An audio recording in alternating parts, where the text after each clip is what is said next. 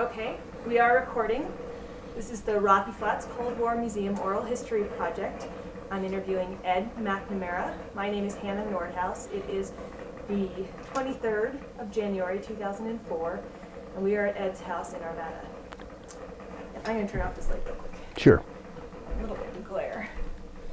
Okay. Um, so to start, um, I'd just like to get a little bit of your personal background. If you can tell me where and when were born, um, where you grew up, what your parents did, and, uh, you know, your education, that sort of thing, Okay. and how you ended up, so what profession you chose. Yeah. Okay. Uh, I was born in Salida, Colorado. I'm a native. August the 18th, 1924. Grew up there. Uh, spent uh, my young life uh, attending school, St. Joe's Grade School and Salida High School. After uh, the uh, after school, why Uncle Sam got a hold of me in 1943. Uh, funny thing about it, on the night I graduated, there was a guy from the Selective Service Board there handing out letters to all of the males who were eligible to report for induction service in Denver. Uh, spent uh, three years in the Navy on a combination of submarine service and surface ship service. And then after the discharge in uh, April of 1946, uh, spent the summer in Salida trying to get used to civilian life again, and then went to uh, Mesa Junior College in, in Grand Junction. And after finishing there at Mesa with an associate degree, then uh, attended one year at CSU in Fort Collins, was known then as Colorado A&M, and then finished up at uh, Boulder at CU in 1954. Uh, spent my summers working oh, for a relative uncle of mine in a little town called Red Cliff as a mechanic, and then uh, spent uh, three summers working in the oil fields in uh, Rangeley, Colorado, as a, an associate engineer. Was married uh, in uh, August of 1954 and uh, went to work for uh, Alcoa University or uh, Aluminum Company of America and moved to Wenatchee, Washington uh, with Jan and my daughter, young daughter of several, few, just a few months to Wenatchee, Washington, where we spent five years working there in what was known as an aluminum reduction plant. And uh, we missed Colorado so much that we decided we would return to Colorado. And I did uh, have a buddy in high school and college and in the Navy that had worked at Rocky Flats as a chemist. And he sort of gave me a push toward inquiring uh, about employment at that at that plant, and that would have been in the fall of 1959. I guess it was when I was home on vacation from from Wenatchee. Uh, came to find out that one of the major uh, or primary people at the plant out there was a guy I'd gone to college with in Grand Junction, Herb Bowman, who uh, was in charge of the uh, uh, 91 production building, and later became uh, works manager before Dow Chemical gave up the, uh, the contract. Um, spent uh, all of those years uh, from 1960, went to work in, yes, it was on February the 29th, uh, leap year, 1960, and uh, retired on uh, June the 17th, 1988, after 28, yeah, 28 some, some years there and have uh, lived here in Arvada uh, ever since. Okay, so um, what was your special, what did, was the job you came to Rocky Flats to do? What, what's your? Uh, yes, when I when I uh, was working at Alcoa, we worked in what was known as facilities or the plant engineering group, and uh, when I hired with Dow Chemical, why I went into that that particular group with a uh, supervisor, department head by the name of Bert Shepard. I'm sure a lot of people will remember him. And Bob Walker was also in the engineering group. uh, Carl St. John, uh, Charlie Bogart, a variety of those guys that I'm sure that people recognize their names, Howard Palm, and uh, Al, I can't think of his name now, but uh, Bob Walker. Uh, there were two Bob Walkers. And uh, yes, worked about a year and a half in facilities, various plant jobs, was stationed both at Building 111 and in Building 771 and some at uh, Building 91. At that, about that time, then Herb Bowman uh, was trying to formulate or put together a group of, of uh, engineers to be uh, liaisons with the design agencies at Los, from Los Alamos and at Livermore, California. Uh, we were to be contact people for the engineers that came in to work on their various projects at Rocky Flats. And so I got into the ground floor uh, on the product engineering organization along with Ed Young and Lenny Fox and uh, oh, oh, Eddie Fellman was also in the group. All of these names are probably recognizable to various people. Uh, and so I began to work with uh, the Livermore engineers first. And one of the very first projects that I got assigned was the uh, so-called PIT, uh, or as the Denver Post likes to refer to it, as the trigger for the Titan missile. And uh, had such contacts as Dave Holton and, uh, and uh, oh, oh, Eric Schuld and several other guys that I can't really remember now. Also had to handle projects with the Los Alamos Laboratory, and uh, the guy that was in charge of uh, the weapons department down at, at uh, Los Alamos was a guy named Harry Wall, and variety of engineers that worked for him. Uh, the reason for two design laboratories, as I understand it from years of discussion, is that at one time the original laboratory was at Los Alamos. And there were a group of people at uh, Los Alamos that uh, the, the, the weapons industry business we, was being operated by the University of California. And they, uh, they had uh, facilities at Livermore, California. And so there was a group that splintered off from the Los Alamos bunch and went to Livermore. And so we ended up with two design agencies because, as I understand it, there were two definite differences in concept of how a design, a pit should be designed. And uh, so that's how they, we got into to two laboratories. I often thought it was kind of wasteful, but on the other hand, it, uh, it did produce a lot of innovative designs from both organizations there. So I spent, oh, I guess, uh, um, six or eight years as a product engineer working various programs. Um, into the late 60s, I worked on uh, the 6268 uh, program, which was the pit program for the uh, uh Minuteman.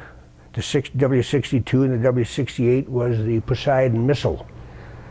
Uh, prior to that, I had worked on uh, various projects that were associated with the nuclear submarine system. And it was kind of ironic because I had spent uh, a little over a year on board the USS Sturgeon in World War II. And uh, here I found myself working with materials that were going to go to the new fleet, the, nu the nuclear submarines. And uh, so in 19, excuse me, in 1972, I guess it was, why uh, there were some reorganizations at, out at the plant, and uh, uh, I got into uh, the supervision of the uh, Livermore programs in, in the product engineering organization. Uh, and then I, later on in the 70s, why then I became so uh, Rockwell Corporation took over about mid 70s, and uh, Uh, Jack Dorr was uh, my boss at that time, and he uh, promoted me to in what was known as the Special Assembly Group. Now, the Special Assembly Group was a small group of engineers, machinists, very, very good people, crackerjack people like, uh, um, uh, let's see, there was Ed Kennison and Cole Pitts, and let's see, well, others that I can't recall right now. But these guys were crackerjack machinists that had come from various industries in the country. And so our job was to build the prototype pit.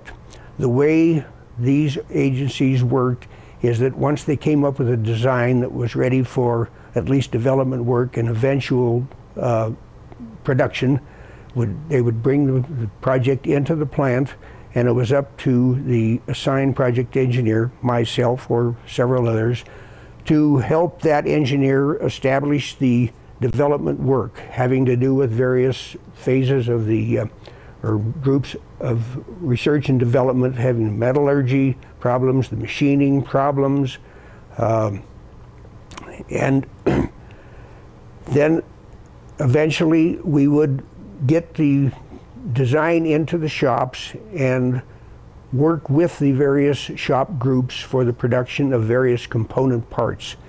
Eventually all the component parts would come to the special assembly shop at that time, was located in building 777 annex and uh, they uh, they would be assembled into a what we would be known as a prototype device. um, th this was a, a, critical part of the program here because we were not only building the parts, but we were establishing the future processing for the pit, uh, the plutonium bearing pit. And uh, the development people, of course, that we had from research and development and from the production assembly group got an opportunity to see what the production parts were going to look like in the future that they would be called on to build. Once the prototype pit was built, it was shipped off to the Nevada test site or to the laboratory, depending on uh, what organization you were working with. Generally, if it was a Los Alamos pit, it was first sent down to the Los Alamos laboratory, where they did some checking over. But eventually, uh, the pit would end up at the Nevada test site uh, north of uh, Las Vegas, Nevada. there, the uh, pit would be loaded, so to speak, into a uh, framework and then placed down hole because all of the shots by virtue of treaty and whatnot were to be underground shots. I have a, a picture here that I can show. I, they do have some classification markings on them, but I do think at this stage of the game that it's uh, it's old hat, and they would probably be good uh, pictures to go into the museum. This is a picture here of the prototype being loaded in this canister here into a hole in the ground. Could be several thousand feet deep, depending on what the expected yield of the weapon to be.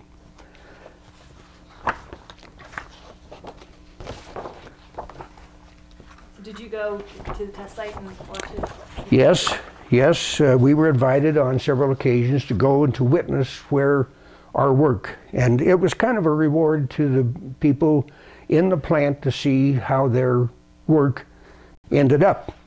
The uh, after the the device was lowered into the hole onto the test site here, diagnostic trailers and whatnot were lined up around here, and as you can see in the first picture, there are cables coming down from the from the device here that will be followed down the hole and then strung out to the uh, trailers, the diagnostic trailers.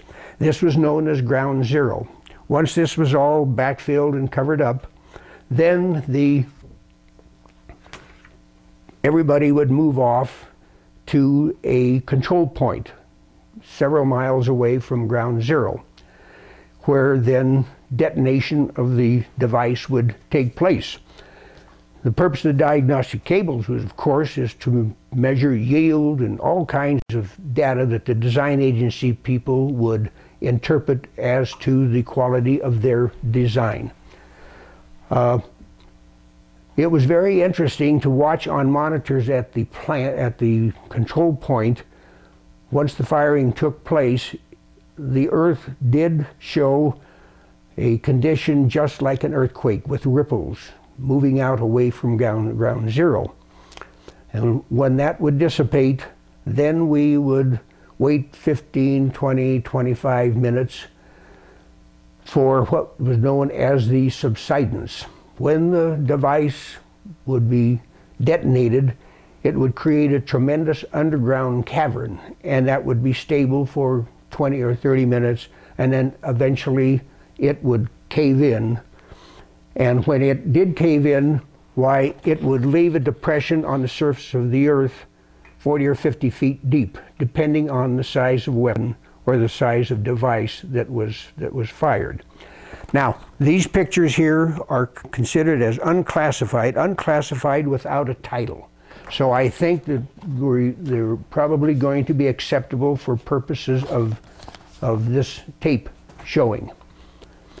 Uh, this was the way of life then from, in my life, from the mid 70s until uh, the late 80s. And uh, there were many shots that went through the went through the system at that time, that uh, they would give them code names.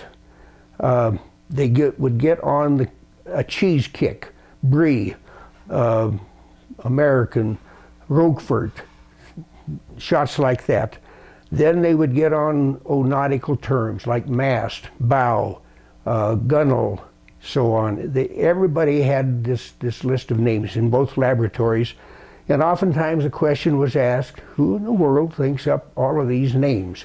And when we would ask the design agency guys, they generally said they would generally leave it to their wives to come up with some kind of a name or something like that. Once in a while, you would see a little write up in the Denver Post about a test shot at Nevada, codename such and such. It might not mean anything to most people, but if I read it, it would mean a lot. I knew just exactly the whole history of the of the of the shot. Uh, this uh, this this kind of thing, you could tell the, just about the pulse of the international atmosphere by the type of device and the type type of weapon program that you were going through. You would go through a phase of building a devices that you knew were going to end up in ICBMs, international or intercontinental ballistic missiles, for submarine warfare, aircraft drop, whatever.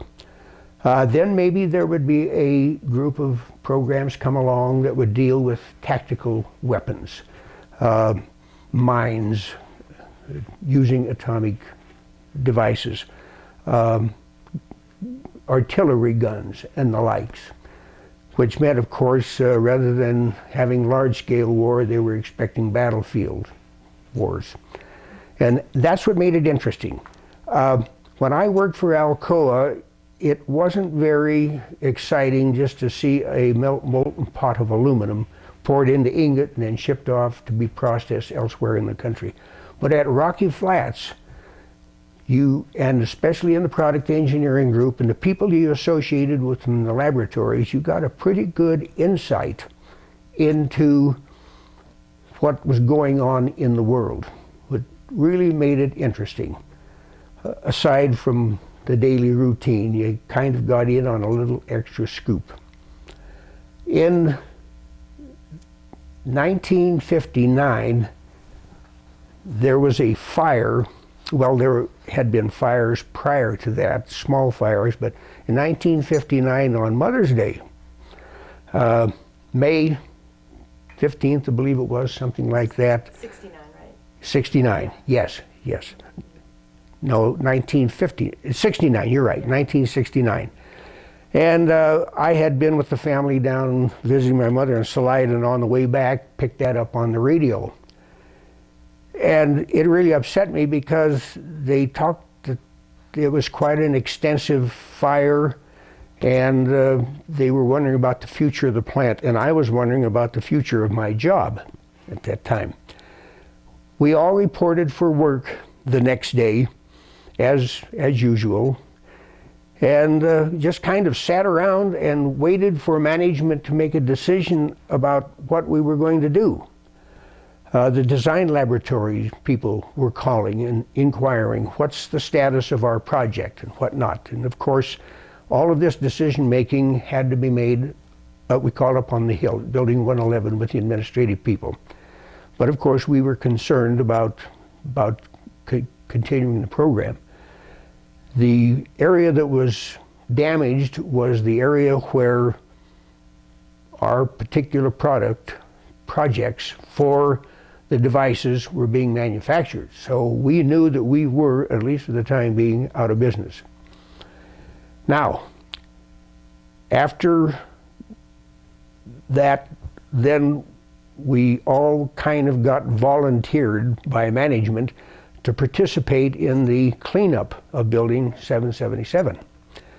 And that was a very interesting uh, activity where you had to uh, dress up in company clothing, um, prepare for entering a very contaminated area. You were rigged up to have supplied air in order to get into the area. The first job that they needed to do was the accountability of their fissile material in that building. That necessitated getting into the various glove boxes where this material existed or lived. Um, that entailed uh, taking windows and whatnot off of glove boxes and actually handling the fissile material and passing it on to uh, people outside of the building in another room in production control bagging it out so that the monitors and whatnot could finish up the bagging and get it accounted for. Uh, it was very interesting. We were all kind of on the same radio circuit. We could communicate with production control building or people outside of the building or outside of our immediate part of the building as to what we, where we were, what we were doing. And my, keep in mind that the building was practically dark. All we had is some temporary lighting in the place. So you were kind of feeling your way around in there with water on the floor and hoping that there was no electrical circuit that you might get into with wet feet that would put an end to your career at Rocky Flats. But there were four or five of us all tied together on the same communicating circuit. And one guy had a cold and he had the sniffles. and after about six hours, it got a little bit tiresome hearing, you know, through the radio system there. Anyway, after six hours, and that's about the amount of time that you came in there, why then you had to come out and go through the decontamination process, shedding all of your clothing that would eventually be destroyed. You were wringing wet from sweat and then, of course, you could go to the shower room and whatnot and clean up. Uh, that activity took place in my, my particular contribution to the cleanup process, but there were other people that spent good many hours and time in the building, uh, mopping up, cleaning up, painting hot surfaces and whatnot. That was a place where I first became acquainted with 409 as a cleaner. For some reason or other, it evidently was a, a, a,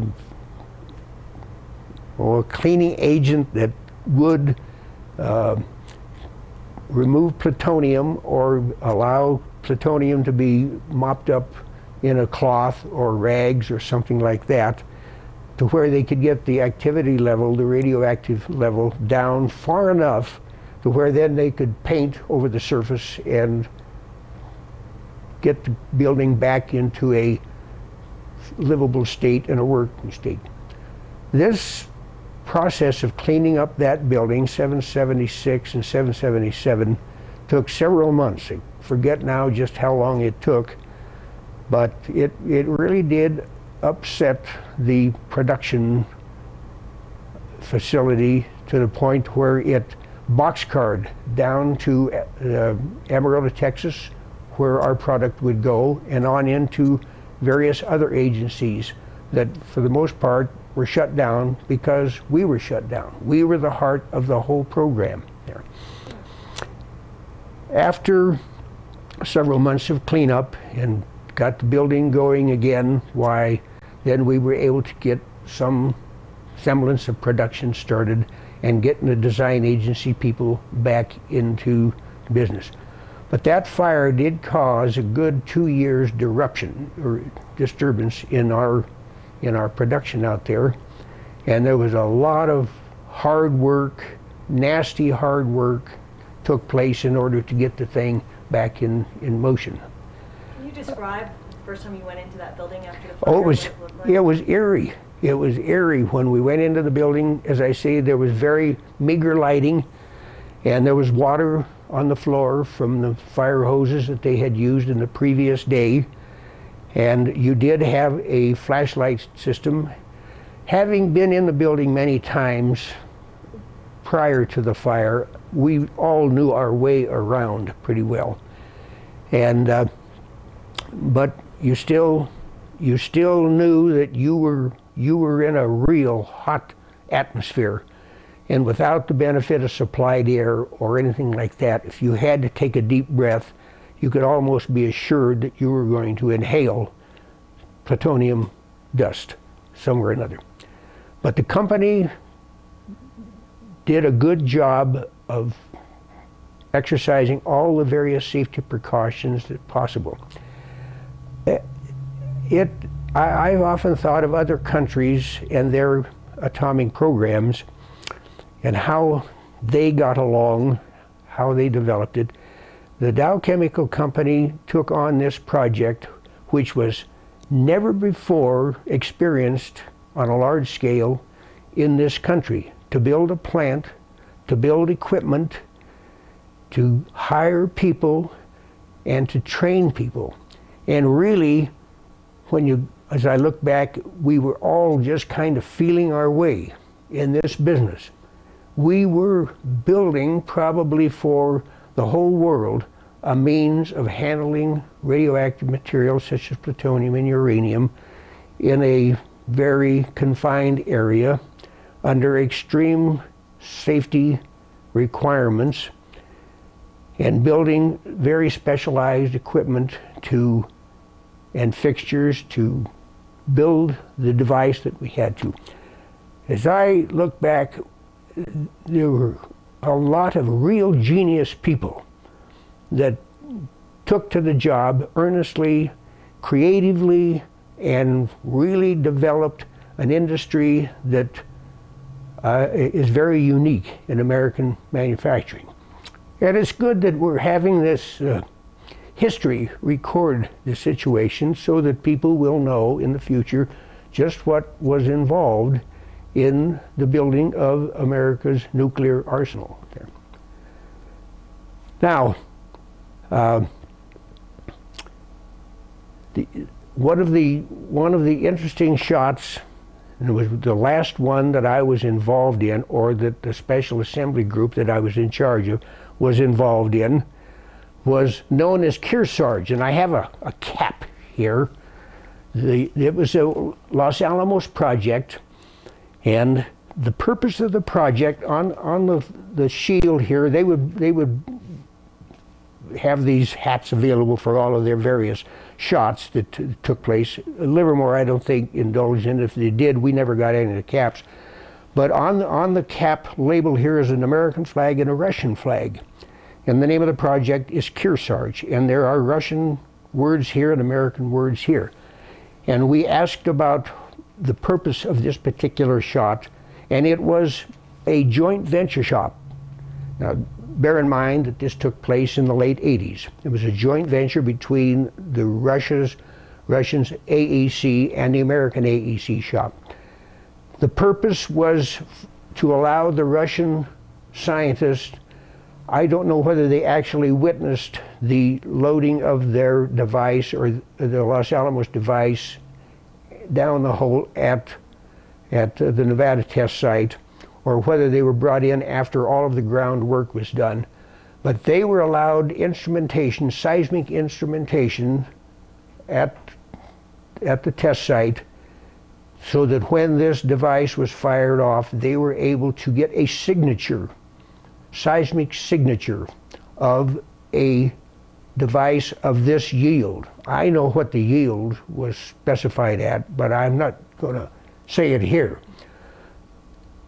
The American AEC people or Department of Energy scientific people from the laboratories were, by the same token, allowed to witness a similar shot on the Russian property with similar type of instrumentation, seismic instrumentation. The purpose of this is that if we have signed a treaty to stop testing, they have a signature of the kind of testing results, seismic results we get, and we have theirs, so that they can monitor these tests and I'm sure they always do, to see if anybody is breaking the treaty and sneaking around the back door and testing weapons. Of course, in 1989, I believe, all of the testing ceased. There is no more underground testing as far as the United States is concerned.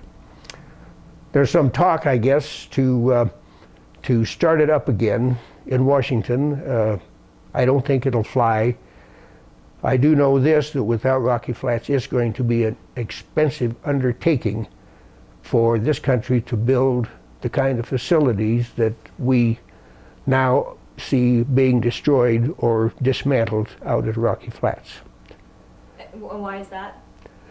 Well, uh, uh, I mean, why are they dismantling? Well, you said it's going to be an incredibly expensive oh, undertaking. Yes. Uh, just nothing, nowhere else. Uh, I've kind of kept track with people who have been in on the, the retirement of the plant, and I gather from some of them that the operating procedures that were uh, written up by our technical writing group for the manufacturing and the assembly, a lot of those procedures and the paperwork and things uh, don't exist anymore.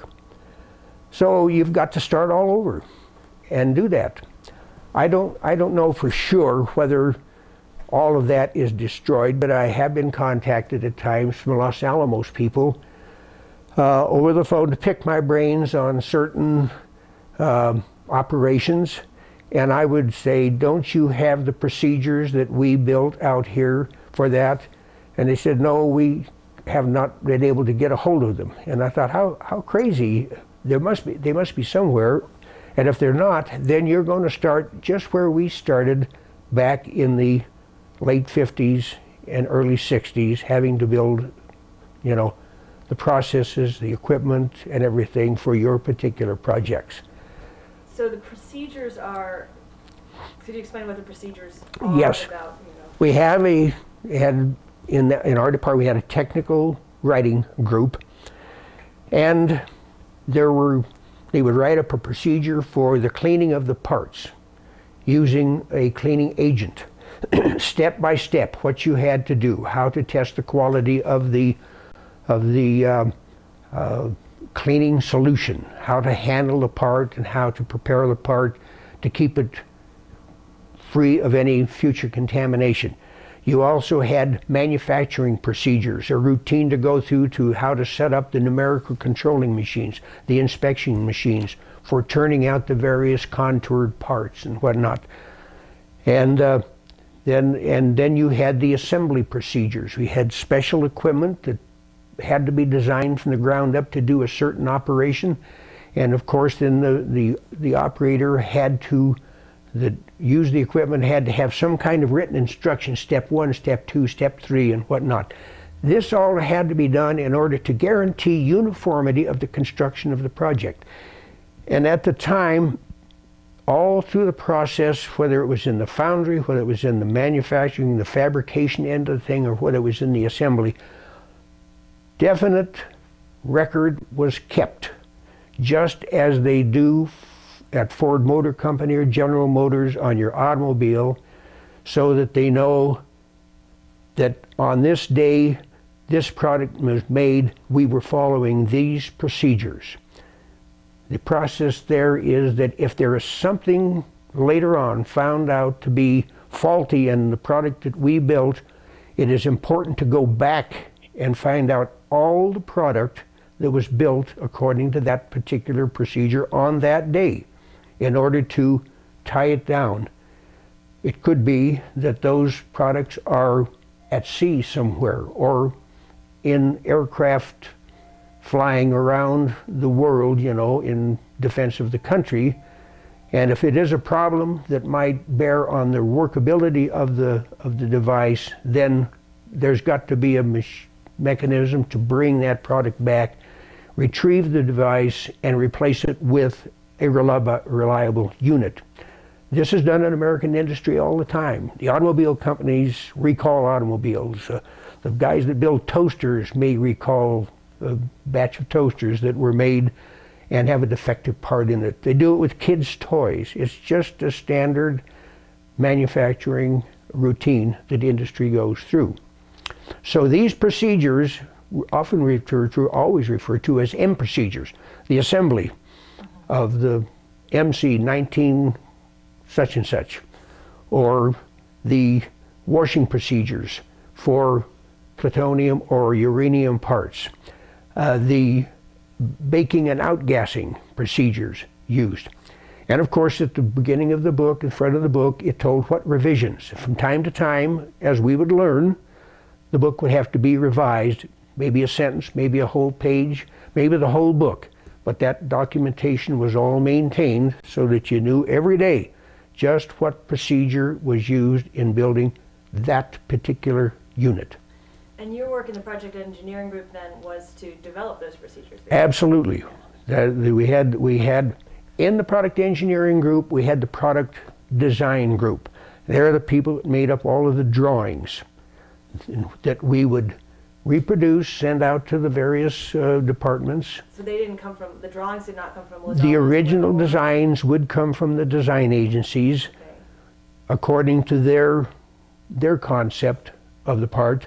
We would have to translate those drawings into a manufacturing uh-huh. drawing here that fit the way we did business at Rocky Flats. machines and the machining and all that sort of stuff. And of course, those drawings from time to time were revised as we went through the development work and we found out we needed more tolerances here or we could cut down tolerances here or the shape may have to be changed here. And all of these various changes had to be okayed by the design agency.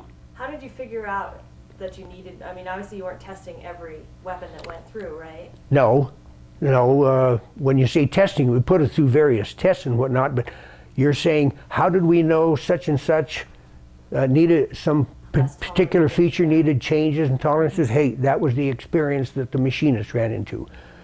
We had, uh, let me just say for a moment, when this plant started in set up here in Colorado, we did not have the manufacturing in this state that they had in the Midwest, in the automobile industries, in a variety of industries in the Midwest so we needed good machinists, people that worked in that kind of industry, and the call went out by the Dow Chemical Company back in the state of Michigan, where their home office was, in Wisconsin and places like that, that jobs were going to be available out here. As I've often said to other people, that was a real break for those people back there because they were, and I'm talking about this is in the 50s and maybe a little bit before and on into the 60s, they were able to sell their houses in the Midwest for a pretty good price and come to Colorado, the Denver area, and buy relatively cheap housing and work at wages very comparable to what they were receiving in their industries back in the Midwest. And believe me, we had a real crackerjack bunch of machinists and people like that. I remember one day in Building 44, the superintendent had a meeting, and this would have had to been probably sometime in the 70s, and he announced to this group of engineers, he said, In two years, he said, I will have lost a quarter of my working staff here. That meant these people would be retiring. And he said, I really don't know what I'm going to do for qualified people, real qualified people. And and it, that was that was one of the biggest problems that we had. Once that group of people began to retire and move out of the plant, then we had to go looking for machinists and inspectors and people with experience, and uh, it it was a it was a chore. Probably Emily Griffith Opportunity School was about our only source here in Colorado. I'm sure we got people from the Martin plant down south and some other industries. By that time, the state industry, uh, manufacturing industry had started to grow, and so we could latch on to people. But we, in my estimation, never did replace the quality of people that I first experienced back in the early 60s at the plant. The thing that made it outstanding is when you're manufacturing critical parts, if something goes on in the manufacturing process, you have to scrap that part, that adds to the cost of the overall program expense. And I did notice in the 70s, as the experienced people moved on and retired, and we've got more green people into the plant, the scrap rate began to increase, and thereby the cost. But it's the price that Uncle Sam had to pay in order to keep the industry going there. But still in all, supervisory people did their best to try to train the new persons to work at the same skill level of the guy that had left the job. So, now, have you any other questions there? Um, lots. All right, shoot. Uh, let me just follow up on that. Um, we had started that, that conversation about the process is by you were saying that in Los Alamos they can't find the processes. So, so they, they are trying to manufacture the same exact weapons there, right? That's, well, I, I don't know that they're trying to manufacture it. Uh, I have a nephew that works there, and he kind of keeps me up to date on a few of the scuttlebutt things there. But yes, they have been kind of, of uh, trying to manufacture some of these uh, devices. Uh, they don't they don't have the kind of facilities that we have. And I get a kick out of some of the scuttlebutt about their, the way they do business from the standpoint of a safety standpoint. And uh, it certainly doesn't meet the standards that I experienced at Rocky Flats. These operating procedures that I spoke of were sent, copies were sent, of course, to the design laboratories and to their so called weapons department. And they have the those M procedures, both at Los Alamos and at Livermore, on file, if they've kept them. If they haven't kept them, and we haven't put ours into storage somewhere around here, if this industry is to ever start up again, they're going to start right from rock bottom, which I think is very it's sad, and therefore is going to be very expensive. In addition, What's that? They'll be reinventing the wheel, basically. Absolutely reinventing the wheel. Then there's the question of personnel. Uh, I, I really I take a look at some of our young people coming out of high school, colleges, and whatnot, and I'm I'm not so sure that you know with the uh, the uh, computer industry booming and stuff like that, if anybody really wants to get into this kind of business. It's, it is, it's a business working with hazardous material, but uh, it, it's, it is safe if you follow the rules and the regulations, you know, as, as established by experienced people. I don't know that you're going to find a group of people that would be willing to, to work in this kind of industry. Oh, I suppose if, uh, bear in mind that the, the employment situation was not all that good in the 50s and the 60s, and therefore uh, the, they weren't questioning at that time, you know, uh, the safety and all that sort of stuff. They knew they were coming to an industry that was handling a, a critical uh, material, and but they needed a job, And today, if jobs are much more plentiful and perhaps in more exciting industries, you may not find the people so willing to do this. But I never would expect the country to go on a building binge of this product like we experienced in the 50s, 60s, and the 70s. We even used to ask sometime, where in the hell are they, what are they doing with all these things, you know? But um, when you get the leader of the government running on a ticket of, of uh, national defense, uh, and he's got the purse strings, he can just about do anything that he wants. So, any more questions? Well, um, so I'm, I'm judging from what you're saying that do, do you think it was a mistake to close Rocky Flats then? Uh, yes and no. Y yes uh, or no. The the when I came here, Rocky Flats was really out in the woods, as many people will attest, out in the flats there, a long way. Now, civilization is built up all around the plant. And no, it is not the proper location, you know, for uh, handling that kind of, because we were always under constant scrutiny uh, and, and a lot of bum publicity in the newspapers about leaks of contaminated material, you know, and all that sort of stuff. A lot of us out there just laughed at for the most part. But it was editorializing by the newspapers as to this big bad plant and the product it was building. And now you've got all this population around. It's not a good, good place. But I think the dismantling of the plant in such a rapid motion there, and from what I can gather, not much thought giving to ever starting an industry like this again is, is, a, is a mistake.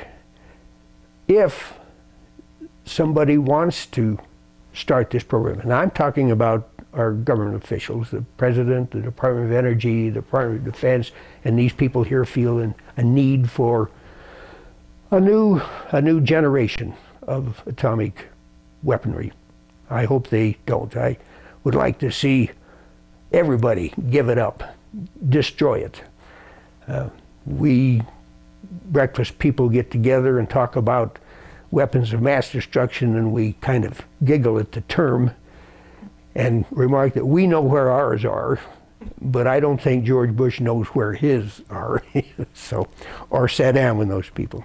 Well, that's neither here nor there. So, any other questions? Um, so, following up on that question, um, or on your comments, how did you feel in general about working in a plant that produced a key never, nuclear weapon? never, never had a, never had a uh, doubt in my life, my life that what I was doing was critical to the national defense program at that time. Uh, I never felt real unsafe because I could firsthand witness. Uh, the largest department on the plant was health physics. They were interested in maintaining my health and welfare and everybody else's. So you went through the routine of peeing in the bucket and wearing your dosimetry badge and all that sort of stuff there. And they, if you played by the rules and, and followed their precautions and whatnot, uh, I'm sure that they're, my father worked on the railroad uh, for 30 years, and he used to tell me of very bad accidents and where people got killed, and yet the railroads were strong on safety. But still in all, they were having some bad times, and they still have bad times with railroad and that's the same way with any any industry. But no, I never I never hesitated in the least, uh, from a safety standpoint or from a just a uh, moral standpoint that uh, I was doing the wrong thing. I've had people tell me that I was doing the wrong thing morally, but you know that was their opinion. And how did you respond, or how did oh, uh, the, the you know, I, I, I try to avoid any real argument. He's entitled to his opinion. I'm entitled to mine. If I could reassure him in any way that uh, this this uh, device or this project was uh, safe, I would do that. As to whether we as a nation should have it. Uh, never hesitated to say, of course, if the other guy's got it, we've got to have it. That's all there is to it. And it, it's a, it is a kind of a case of chicken, you know, who's, and I think we, we won. See? Um, you, discussed um, peeing in the bucket. uh, um, were, were any of you, were you or any of your close colleagues um, exposed to either contamination or beryllium solvents? Yes, um, I, I wasn't personally. I, I never had. Uh, I, I had had some contamination on my gloves or something like that at times, but nothing that ever jeopardized my well-being or anything like that. But there were times in the plant when there was some. Well, if they were going to work on a piece of machinery that was contaminated, they would build a tent of plastic around the tent, plastic sheeting so that they could work within there and and uh, they would work on the machine with supplied air and things like that. And there were a time or two when some welding spark or something like that caught the tent on fire and it, it burned up, you know, and everybody got out of the way. But what it would do, it of course would would liberate perhaps some plutonium dust. Anybody in the area then had was suspect as being exposed, and of course they had to be checked out by monitors. And I did have a, a couple of employees who worked with you know, come out come out of the building in a hurry, naturally, and back into our office area. and, and one guy in particular was, I think he was laughing, but it was a hysterical laugh, you know, because he had not experienced anything like this. And he was telling me about this fire and whatnot. My immediate response was, Were you near it? And he said, Yes. I said, Stand still, don't move till I call a monitor. And we got a monitor into the building and told him the story. Checked the guy over, and yes, the guy was contaminated. He, and he had walked out of the building into, into our building, in our office area, and we had some hot spots where he had walked. He had gone to his desk and touched the paperwork, and yes, we had contamination on the drawings and the paperwork. Unfortunately, he had gone by the secretary's desk, a real nice little gal there, touched the desk or something like that, so it was necessary for the monitor to check the, the secretary over with the wand, you know, all over the surface of of her to see that she had not picked up contamination. She had never been exposed to this kind of environment, you know, or this kind of a routine. And so she was not only petrified, she was embarrassed about the monitor having to rub the monitor, the, his wand, so to speak, over her body and whatnot like that.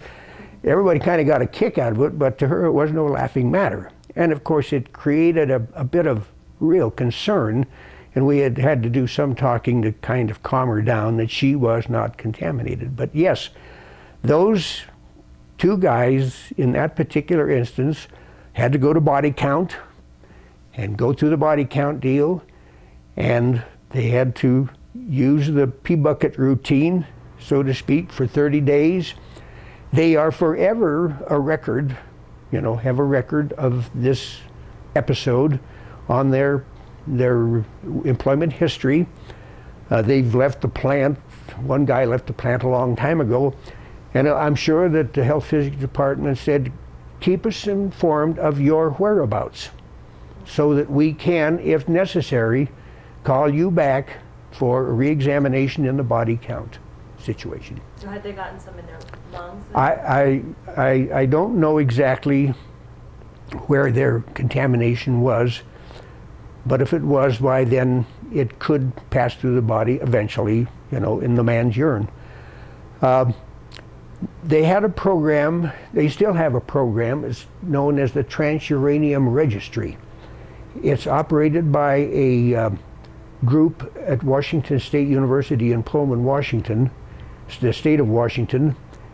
And if you wanted to be a party to the program, and I was from almost the time I began to work in that kind of an environment, then I would subscribe to it and sign an agreement that if I, whenever I died, why then they, I, my spouse would be, uh, would allow an autopsy, autopsy of my lungs and vital organs that they would like to look at. She would have to authorize that, and they would be sent off to the to the laboratories in, in up in the state of Washington to see if I had any contamination in me. This was a maintenance of history of employees that lived there. Not everybody joined uh, to be a party to it, and then per periodically, every five years, you would re re up, so to speak, and resign and become a part of the program, and I did. And I was only notified really last fall that I was taken off the program at a person near 80 and no problems of any kind. I no longer am a subject, you know, to keep track of. But they have built a history throughout the laboratories and the various plants of people who have worked in this kind of an environment and what kind of illnesses, you know, they have experienced. Cancer, berylliosis, and that sort of thing there. And you would get a report periodically as a member. Annually, you'd get a report letting you know just what, you know, their history gathering had done in the past year. And I'm happy to say that really, according to their report, the cancer problems from this kind of industry were no different than in the country as a whole. So this is not to say that some guys perhaps got cancer from uh, exposure. I know some of my friends passed along, and it's highly suspect that in the work and where they worked, they may have, you know, contacted cancer. But the rate, the overall rate in four to 6,000 people that worked at that plant was no different than four to 6,000 people in the general population there. So anyway, I'm not a part of it anymore, so I don't have to be autopsied. Relief for your wife, probably. so, um, so do you, the pub, you mentioned the sort of the media editorializing about safety. Did, did you feel that the public um, sense that Rocky Flats was a dangerous place to work? Oh, Channel 7 had a man working for it by the name of Minshall. And he would appear on television every once in a while. He was invited to the plant on certain occasions and shown some, some of the processes, uh, nothing very classified. And when he got on television, I always felt that he would do a little bit of editorializing. Um, that's the media aspect of the business to embellish a bit about this plant and that plant. And of course, it stirs up the whole area around here. I, I would, my neighbor across the street would see it on television, would ask me questions about it. And I'd kind of brush it off as just so much, you know, uh, bull, so to speak. But I couldn't convince him. They, they, they were very strongly anti-Rocky Flats plant there. But uh, yeah, the, the media uh, kept at it, and that's, that's another thing why it's good that the plant moved out of this area here. You know. That makes for good headlines if you can say something about Rocky Flats. Well, they won't have Rocky Flats to kick around anymore. You know, it's all defunct, gone. Best that it be located out in the middle of the desert in Nevada or Utah or someplace like that where there's not a population, great population and whatnot around. Okay, we're uh, almost at an hour, so I'm going to stop. Okay. Change tapes.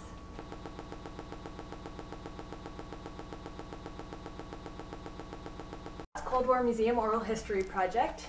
I'm speaking with Ed McNamara. My name is Hannah Nordhaus, and it is the 23rd of January 2004.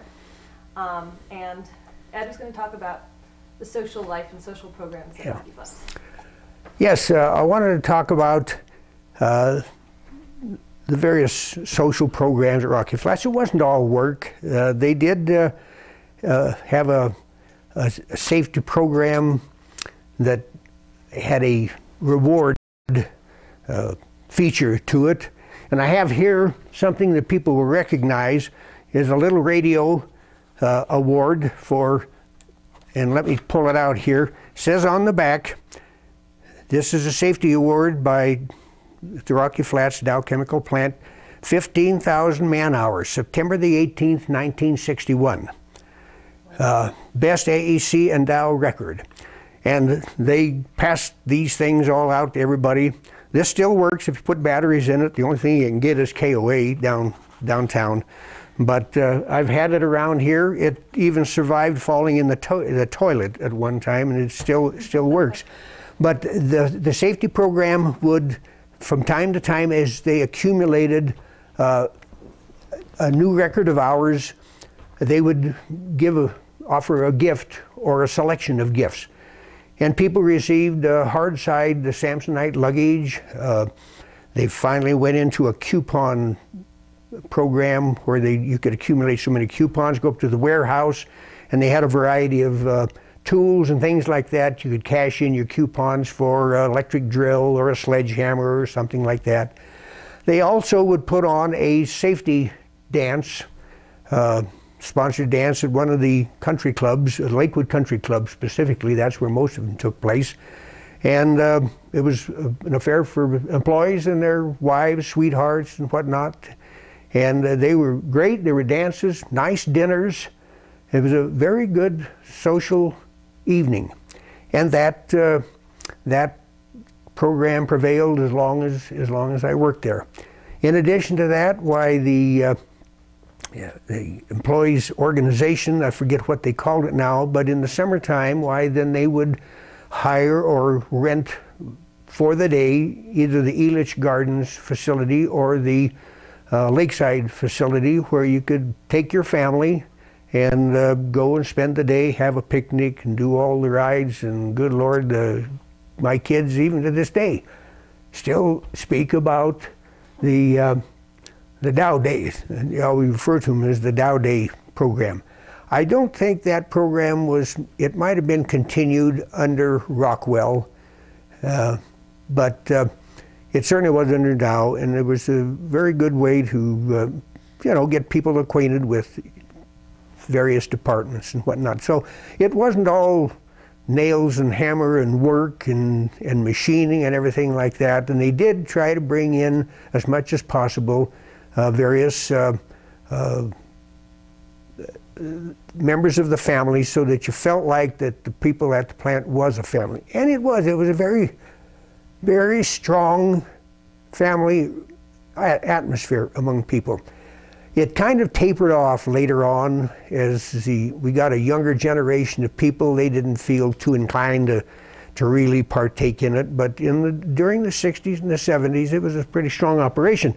We, I have some pictures here of, of guys that worked for me, and, and uh, they, they got service awards.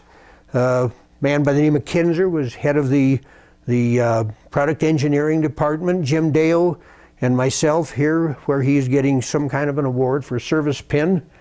And uh, Bob Pentico, also uh, a man that worked for me, getting an award. A group of my engineers sitting around having a discussion. And uh, um, some people, there's a little boy by the name of Singer, unfortunately died very young. And I forget what this gentleman's name was, and this guy's name here was, uh, oh gosh, uh, I, I, forget what his name was. But anyway, these were some of the things that we that we did. Uh, have a picture here. Uh, we had a management club organization, and uh, we would have it was just for people in management but we would have our dinners at various places, either uh, in the Lakewood, Arvada area, or in Boulder, or up in Louisville, and places like that. We would generally have a, a guest speaker, and in this particular night, why I had the pleasure of presenting a thank you award to, to uh, Johnny Ralston, who was coach of the Denver Broncos at that particular time. I think it was in the 70s. And so I, I was given copies of the picture since I was in the thing, and I will turn these over to the museum here one of these days. Have a group picture here uh, taken during the Rockwell era, and uh, these for people that made suggestions, various suggestions uh, on safety and the likes, and the uh, suggestion program. And here was one group that was presented with uh, various awards and whatnot. So. Anyway, this will all be turned over to to the Rocky Flats Museum one of these days, and uh, I'll work with Don Rolfe on that. Okay, thank you. Um, you had mentioned the family atmosphere and how nice it was to be able to bring your family to these events.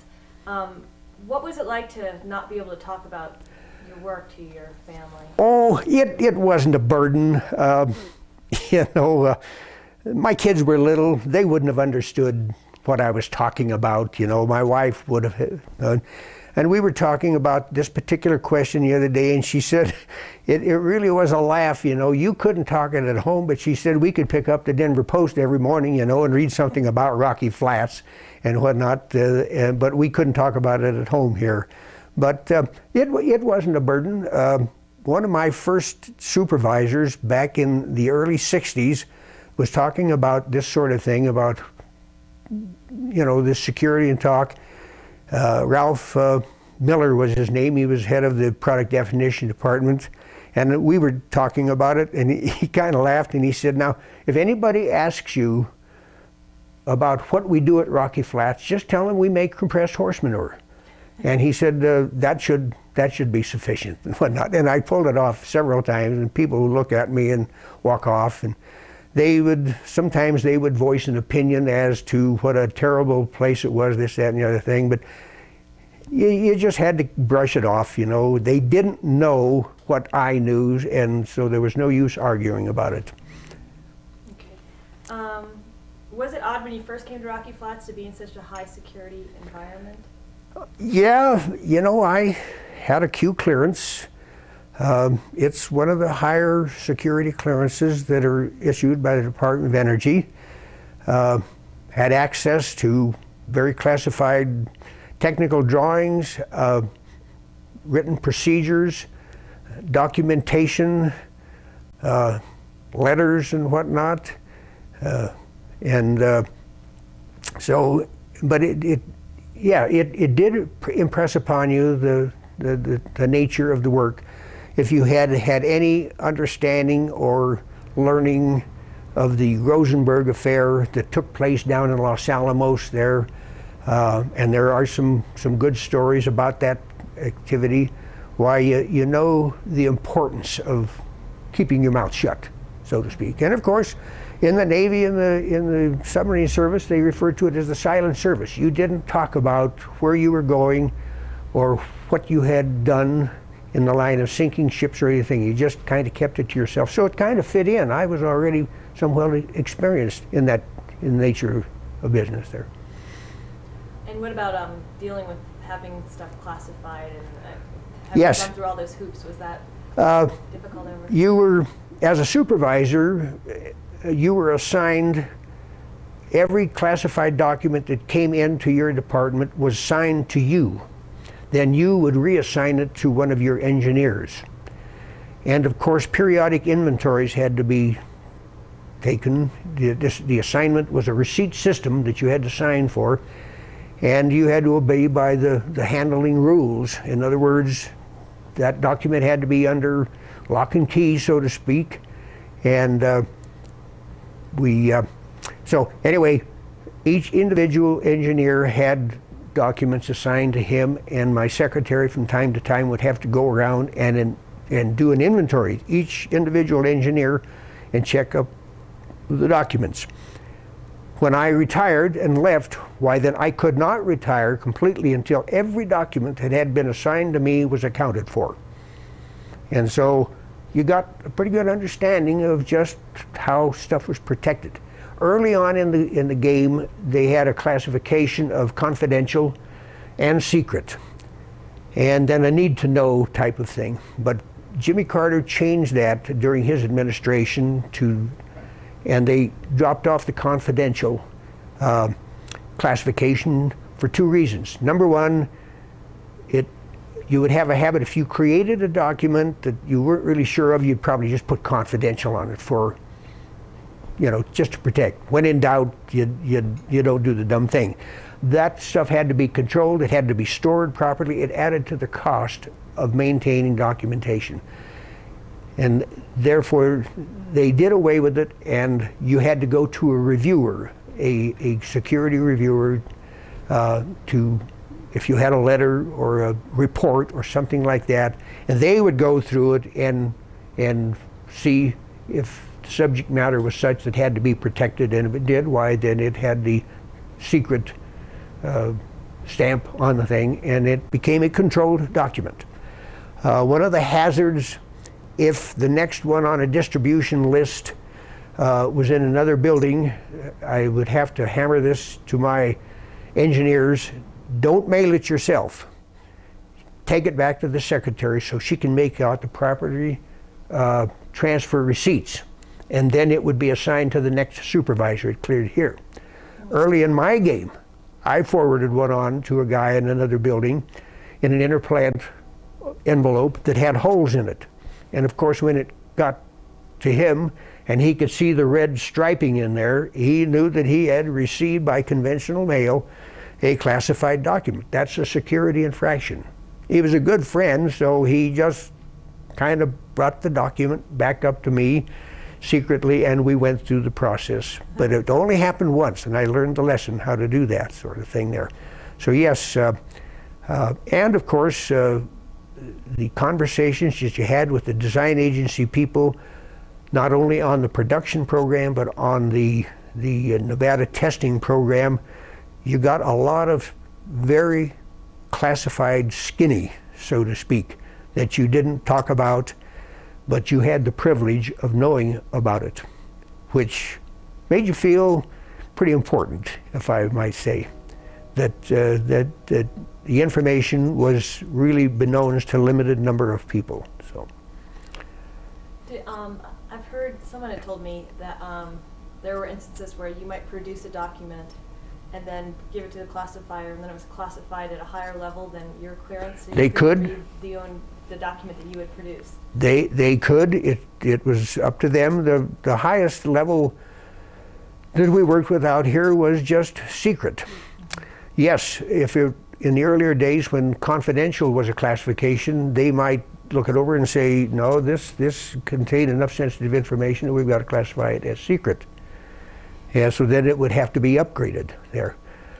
But that uh, that was I had a couple of occasions where guys uh, went out to California to the Livermore plant on uh, an exchange program, and in packing up all their stuff, they happened to have a classified document there that was picked up by security at the Livermore plant.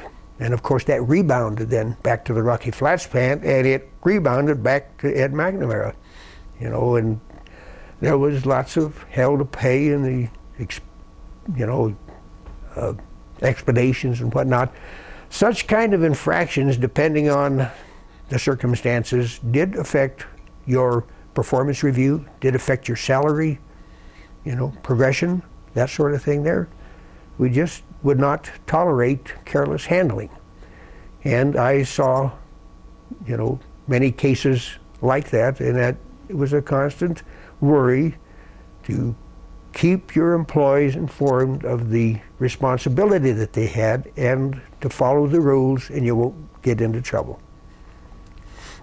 Um, when you first came to Rocky Flats, uh, when did you first figure out what Rocky Flats did? When did I first? Oh, I spoke of a, a, friend of mine that I went to high school with, grew up with in Slide and whatnot. He got a degree in chemical engineering, or chemistry, I guess it was, University of Denver, and he went to work for Dow Chemical when they just broke ground. As a matter of fact, they sent him to Y-12 uh, down in uh, Oak Ridge, Tennessee for some preliminary work to acquaint him with what his work would be like at Rocky Flats. And then he came back to the Denver area and went to work at, uh, at, at the plant out there. And of course, he would say a few things. We'd talk about it. I was not an employee at the time, so I really, you know, was not entitled to any of the information. But he just spoke about the plant in general, and he liked, as a native living in Colorado, although he did complain about the condition of the highways going out there because it would cost him probably a tire a month, you know, with the chuck holes and everything, because really it was pretty primitive out there on the old Rocky Flats. And boy, there's no place in the country that has winds like Rocky Flats. It could really howl out there. As a matter of fact, I remember days when they would string a, a rope from the, the main administration building out into the parking lot so they could hold on to it. Little little uh, gravel pits flying around, hitting windshields and, and windows in your car and shattering them, literally shattering the thing. So it was, it was pretty hostile territory to work in there. But that's how I got next to Rocky Flats. And then, of course, when I came back from Wenatchee one time and had made up my mind that I was going to get out of the aluminum business, and I happened to run on to Herb Bowman at a Colorado CU football game up here. And uh, he said, why don't you put in an application, come out to plant on Monday and, and let's, let's talk it over. And so I did, and that's how I got started. And so you knew at that point that they were producing? Oh yes, I knew what, yeah. I, I, then I had a pretty good idea of what. And the, the thing about it is that, that yes, I was hired pending, of course, security clearance. And I was forewarned by the employment office that uh, you will be investigated, your family and whatnot, up there in the state of Washington, and no doubt people that you work for, your supervisors and whatnot. So it's up to you, meaning me, to inform my employer that I had an intent to leave deal. And they said, it may jeopardize your employment at that place, but we will try to accommodate you here in case your employer decides, well, if you're going to quit, you might as well quit right now, instead of waiting for another six weeks or two months for your clearance to come through. So it was known to various guys at the Alcoa plant that I was planning on, on moving. But Alcoa was very generous. I stayed on the job until my clearance came through, and, and uh, I, I thanked them for that. So how, um, when you got to work, how was it uh, different as a workplace there? Oh, it's very much, it, it, I entered the facility engineering group out there, which was at that time Station Building 111, and it was very much like the uh, facility engineering plant or department there at Alcoa. The terminology and all of that sort of stuff, maintenance of buildings, air conditioning systems and the like, was very much. Then, uh, while I was in that department, got transferred down to Building 71 where they were processing chemical material and got an opportunity to go out into the hot area, so to speak, dress up with your your smock and your booties and your hat and whatnot and a cautionary don't touch anything, you know, because it's a hot area. Then I began to really learn this is what the manufacturing business is all about in the buildings that you have been designing or working in. So then, then uh, when I finally transferred over into that that department there, then I got an indoctrination from the supervisory uh, supervisors in the assembly plant. This is a pit. This is what we build here. You know, this is our end product, and that was my introduction then to the the real meat of the business out there. Um, so, what would a typical day have been like for you once you say once you got into the? Oh, you know, uh, always rode in a carpool. Uh, that was really uh, one of the worthwhile um, experiences to ride with people, four or six people. Um, they, a lot of them were the machinists, several machinists, uh, either in the manufacturing plants or in maintenance and whatnot.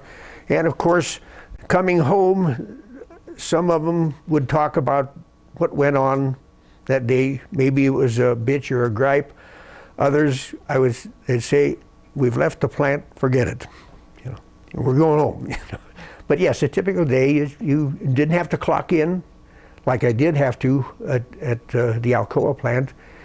And you just started your day where you had left off the day before, you know, on working the project. People to contact, be it here locally or at the design agency, we're going to look at this problem and that problem. You, you had your work all outlined for you. And you were in an office area. You weren't. You didn't have to go into the hot area to go to work. Oh, uh, the office um, office area was right next, in adjacent to the hot area. And yes, uh, it many times you necessitated putting on your smock and your your uh, clothing, your booties and things, whatnot to protect your own your own clothing. To go back into the hot area to witness something that was being done on your program. So yes, uh, it was an in and out situation like that. Uh, I used to do it just to learn something. You could learn an awful lot by talking to the people on the floor about what, what they were doing and whatnot. So it's part of an educational process. And as I got employees, after I became a supervisor, I encouraged them to go to these various buildings and, and ask questions. Those guys are very willing to tell you what they're doing, how they're doing it. And you can learn a lot just by talking to the various people out there. It's a part of your education in and above what we do right here in the office as far as paperwork and plans and drawings and procedures and that sort of thing. So that was the way, that's the way it was. Um, so if you were handed a blueprint and told to rebuild the various buildings at Rocky Flats using those blueprints, would there be a lot of changes um, that had been made over the years that we wouldn't see in the blueprints? Um, no, I really didn't get that much involved in 18 months in that particular department. Mm -hmm. uh, I had been through that with Alcoa, and the biggest problem that you'd run into is that some maintenance guy would put a valve in someplace without contacting the engineering people first. And if that wasn't down on a drawing somewhere, you could run into problems. If there was some system shut down and you wondered what was it in the building that was shutting down this system, you know, and you were tracing it out on the drawing, valves and this, that, and the other thing, only to find out, oh, here's a valve. It's not on the drawing. How'd it get there? The maintenance guy did it as part of his job. He didn't follow the routine to let you know to upgrade your drawings. That couldn't, did not happen working with the product. Nobody on the production floor would make a change to anything, couldn't authorize a change unless they contacted the program engineer. And he couldn't authorize any changes until he contacted the design agency. And we did that by teletype. We sent out a proposed change. He would review it, he would okay it, send it back. Then I could take that change authorization to the product definition or the people that made the blueprints, the drawings, so to speak. They would institute the change and then the change would be distributed out into the plant. Once the drawing, new drawings with the change was incorporated, all old drawings had to be returned back to the product engineering department. So these were drawings just for the processes of, of right. particular manufacturing. That's right. That was the way the system worked, okay. but no changes. Oh, there would be somebody would do something funny once in a while, you know, that that might kind of rock the boat. You'd find somebody. The quality control people were constantly on the prowl, so to speak, observing procedural operations to see following if the operator was doing a certain operation, he was following the book, to see that he was following the procedure as established there. And of course, if he wasn't, why then the, the quality control people would talk to his supervisor about it. They would also report the, the discrepancy to the product engineer for that particular product if it was, uh, you know, for a pit or something like that, but it had to be closely controlled. There were some situations that we got into that uh, uh, where we, we, we had a problem with a, our particular product that got out into the field and it, it reverberated all the way to the user meaning, say, a submarine or an air base that questioned the quality of our product. That kind of problem went all the way to Albuquerque, and I'm sure it went to Washington. And our management really didn't approve of that kind of conduct. Sometimes some butt had to be kicked or some head would roll, you know, and you could understand the seriousness of the thing. There were. How would they figure out something was wrong with it? Oh, oh, you, you would, uh, it, it, it would be taken up, maybe, maybe the quality control people would pick it up if it happened in this plant, or if a plant downstream reported some kind of a problem. The product, when it was manufactured by Dow or Rockwell, then it was submitted to the Department of Energy and their inspection group. And the plant, the part did not leave our plant unless the Department of Energy bought it. You see, it had to meet all the requirements there. Once it got through being bought, then it was authorized to be shipped to that plant. So if there was a problem out there, then the Department of Energy here, people, they they also became a part of the of the problem. You see, and I, I worked with very closely very closely with the with the uh, acceptance, what they call the product acceptance group of the Department of Energy. There were some real real real good guys there, and they would work with you. They would press you for uh, compliance with specifications and whatnot, and there were arguments and debates, and we would have to sometimes get the design agency people to come in and explain the situation.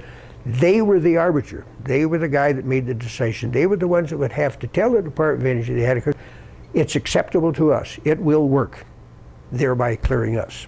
Or if they agreed with the Department of Energy, then it fell back on us that we screwed up somewhere, you see.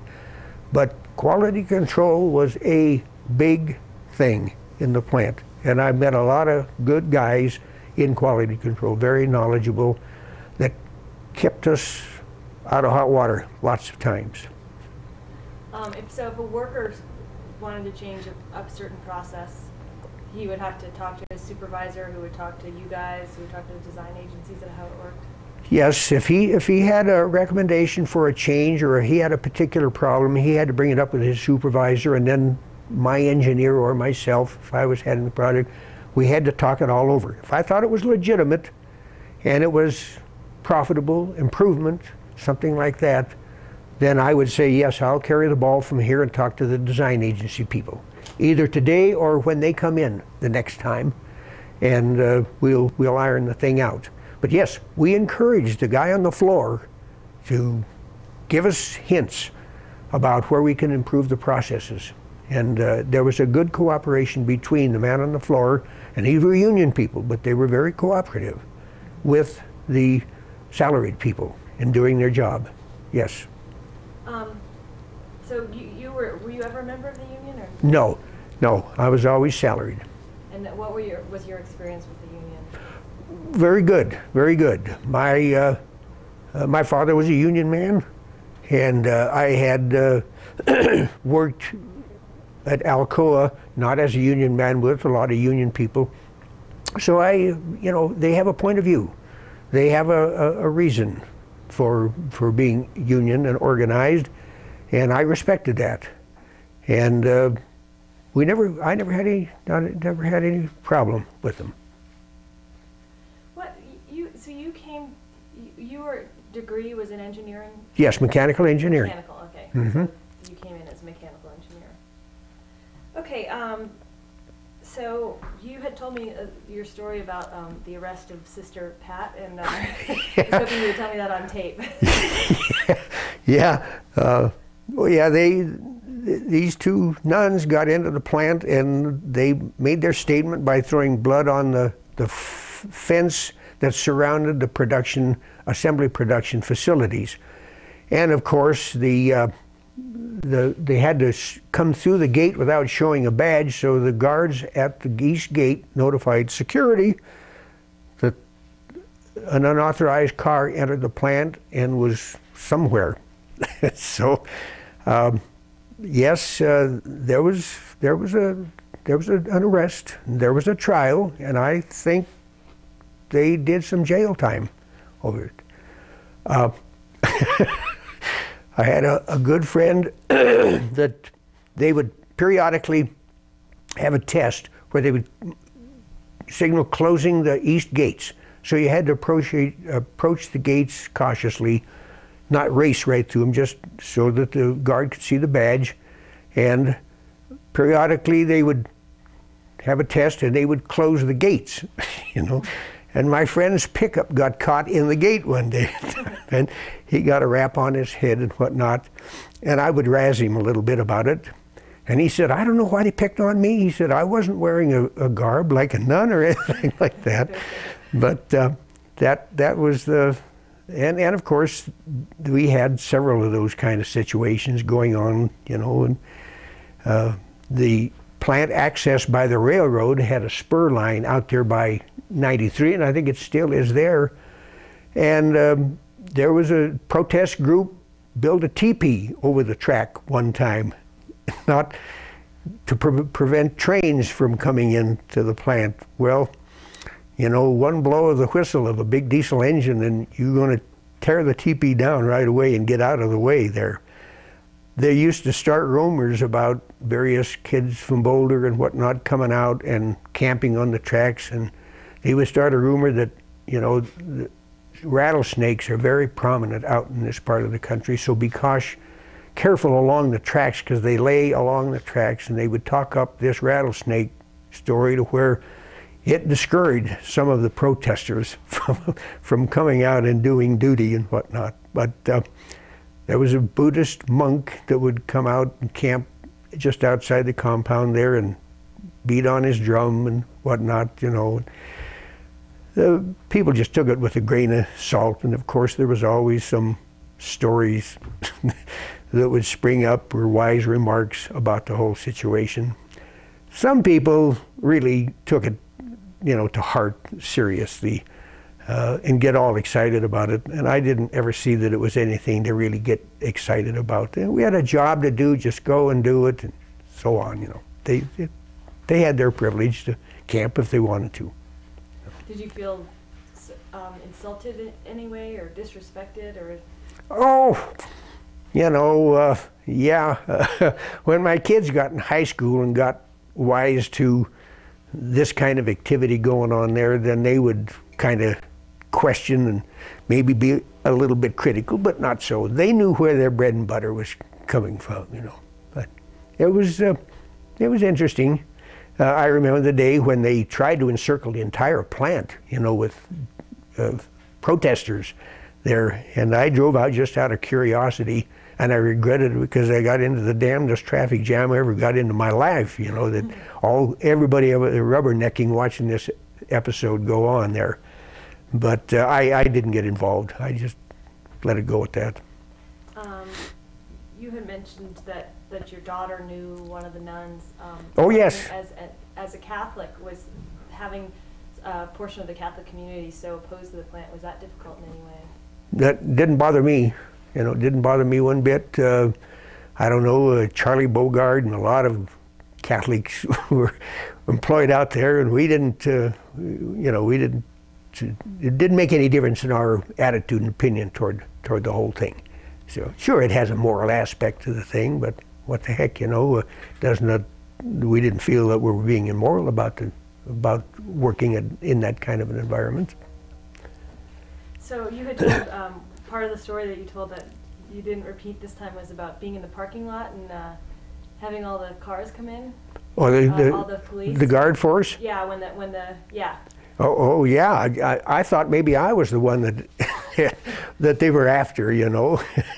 and then when they descended on these two women, why, you had to wonder, I, what the hell's going on, you know. So you had just pulled up, and the two women were in the parking lot. The same oh, they were they were in the parking lot, and they were throwing this blood or whatever it was on the fence, you know, when the when the, the guard force surrounded them and, took them off to the, the security department there. And I didn't know who they were, you know, I had no knowledge of it. Well, it scuttlebutt will then really come out, you know, who it was and whatnot. And uh, big grapevine, just like a, a prison, the rumors would spread.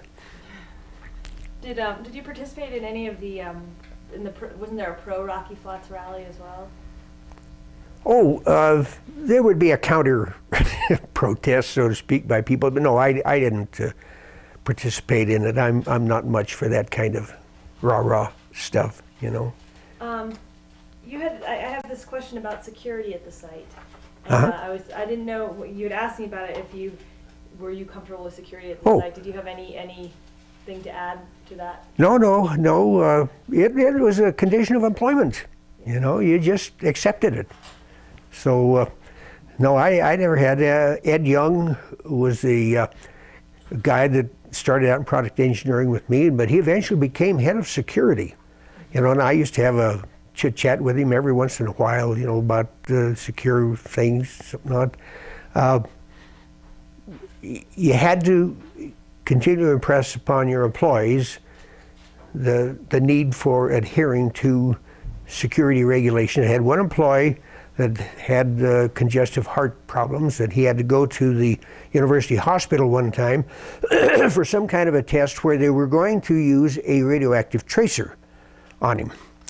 And so I, I cautioned him when you return, stop at the east gate and tell the people that you've had this tracer so that when you go, they will nullify or silence their alarms so that you can get to the gate without setting, setting the whole alarm system on the plant there. Well, he forgot all about that. and he came back to the plant, showed his badge, went on through, and of course the alarms went off. Security descended upon him and whatnot. And finally, they got it all ironed out as to what was the reason for triggering of the alarm. And he came into my office kind of giggling, laughing about the whole thing. And I had to admit that I kind of had to laugh. But I knew that my supervisor would call me because I hadn't informed him. But I had informed him. But that's part of supervision. You just had to had to take it. But it was necessary that they knew about the alarm system. They also knew, you know, that the man would be passing that out of his body into the sanitary sewer system. And at the sanitary sewer processing plant, east of the plant, had detectors that would pick this up, and they had to know, you know, that it was because somebody had had that put into his body for a, a physical test, and not some process in the plant people that were throwing hot material, so to speak, into the sanitary sewer system. Because those were two separate systems. Processed fluids went into holding ponds, and then, of course, they had the regular sewer system. Um, since we're talking about things being thrown out, um, obviously you were gone before the FBI raid. Yes, yes, I left in '88, and I was not a part of the FBI raid. I followed it in the paper. I talked to some people, you know, that had worked, got there working at the time. and I don't know, I guess I could venture an opinion. I thought it was maybe a little bit overdone or whatnot, but I don't know that much about it, so I guess that's all I have to say about it. Okay. Um, what, um, I, I don't know if you were already at the plant when, um, when women came to work in, on the lines in large numbers, but. Yes, if there was- that, that all became a part uh, as a result of federal legislation of equal opportunity employment.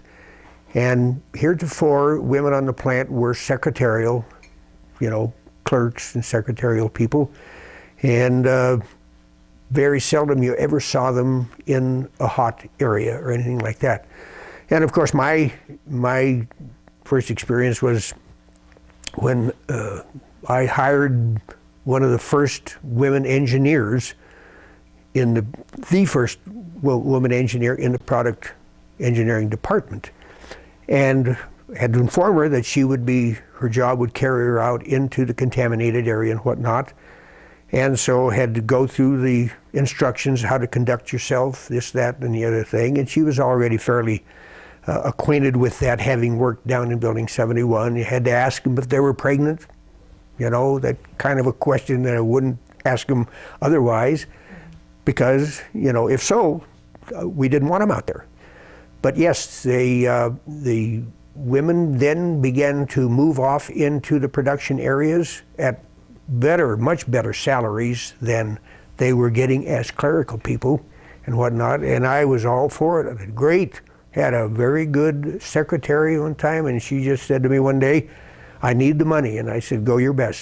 Sign the sign the the sheet and and go to work for them." Some of them had to join the union, and some didn't, depending on what uh, group that they went into. But yeah, there were a lot of them, and uh, they worked in glove boxes, and they worked in processing, and they did just the same kind of jobs that the men did, and took their responsibilities and job very serious. And yes, uh, before I left, I had hired three different engineers, and they were all very good, knowledgeable people. One one woman young girl that had worked at Martin Marietta and whatnot, that was an engineer, and she was very sharp. And I've recently contacted her, and she's happily married, living on a ranch up in Wyoming, and we laugh about the kind of environment that we both left, you know. But yeah, they were they were they were good engineers. So Were there any issues, um, it sounds like the plant was built sort of for men, the shower, there were, you know, initially Oh. sex showers, laundry. oh oh yes, that kind of that uh, uh, yes. Once the women got into the production areas, then of course there had to be accommodations for showering and and whatnot. Yes, when I went to work there, um, there was a very very tight control on where women went and worked around the plant. It was generally an office area. Uh, I look back now, there was only one colored man in the whole plant, you know. And once the federal law stipulated, you know, that, that you cannot discriminate in any way against individual, then we began to pick up many, many more minorities, and they were all, all good, good working people. And then, of course, uh, as I said, with the machinists and the older crew beginning to retire and a new bunch coming in, yes, you could notice the difference, you know, a lot in attitudes, work attitudes, and things like that with a newer group of people. You knew you were getting old when it bothered you. You know, you'd been there too long. Yeah. So, and there weren't any issues with minorities coming in in terms of people, Oh, the usual malarkey, you know, that you see in any civilian life there. Uh, but uh, it was a way of life. It was the law, you know, and, and uh, people got used to it. They accepted it. Not, so, all right, well, I'm, um, I think I'm out of questions. well, Um, is there anything you would like to add? well, no, in summary, I just said that I, I uh, uh, enjoyed the, the time at the plant, bought this house, raised a family, uh, met a lot of great, great people. Uh, wouldn't trade the experience for anything. And in retirement, I still am able to keep in contact with a lot of people, you know, and talk about uh, the old days and the happenings. Um, there was uh, one particular guy by the name of Bobby Thornhill that was quite disfigured at birth, and he was a clerk and probably one of the finest guys I ever met out there. Uh, good-natured, uh, very cooperative. Uh, he was always the brunt of a lot of jokes and things, and he could give as well as he could take. And if I were to ever write a, a story for uh, uh, what is it, Reader's Digest, most unforgettable character would be about him. He was a very nice guy, but there were a lot of them, a lot of great guys. Wouldn't wouldn't change it for the world. So. So I guess there's one question I forgot to ask, which is if, what were the best and worst things about working there? Well, uh, oh, the best thing was, of course, its proximity. You were in Colorado, and you, you can't beat that. And uh, oh, the worst thing might have been that, uh, you know, the the routine after a good many years of getting up, and I, I didn't think that that when I retired that that I wondered what I would do you know, after I retired, but I finally got to the point where I had a house down in Salida and I had this house, and if you have two houses and yards to maintain, you soon begin to ask yourself, how did I ever find time to go to Rocky Flats to work? I had my hands full. And, and I fell into retirement and have enjoyed every year of it. Good. No. I can't wait. Yeah, I can understand that. Okay, well, thank you very much Well, for participating. Thank, uh, thank you, Hannah. By golly, it's been a pleasure. Okay, I'm gonna turn this off now. All right.